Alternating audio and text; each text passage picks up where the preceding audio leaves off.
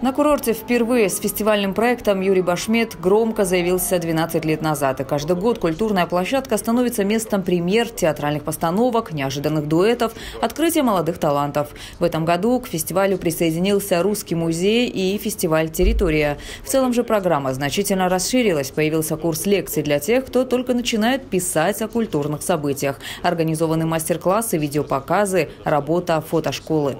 Мы очень рады тому, что большое внимание уделяется музыкально-литературным постановкам и спектаклям, потому что он действительно становится все шире и шире, как фестиваль искусств. Ну и самое главное, о том, о чем уже говорил Дмитрий, это о том, что э, все больше и больше деток, которые э, не только принимают участие, но потом продвигают свое мастерство, становятся э, профессиональными Э, музыкантами. Фестиваль не должен прекращать свое, свое существование.